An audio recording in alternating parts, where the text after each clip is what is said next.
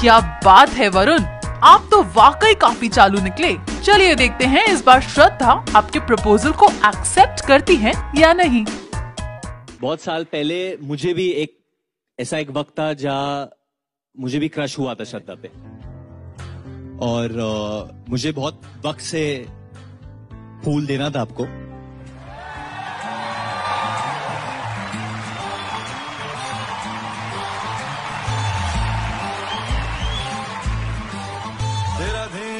किधर है? ये तेरा हीरो इधर है। तेरा ध्यान किधर है? ये तेरा हीरो इधर है। श्रद्धा और वरुण से बातचीत की तो देखिए दोनों का क्या रिएक्शन था।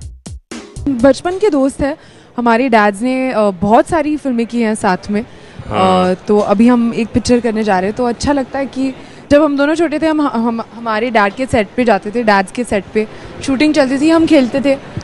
और इस बारी जब हम वेगस में गए थे हमारी मॉम्स आई। लोग सेम कर रहे थे बस। तो हमारी हमारी मॉम्स आई हमारे साथ तो उल्टा हो गया मज़ा आया। बचपन में प्रपोज किया था क्या?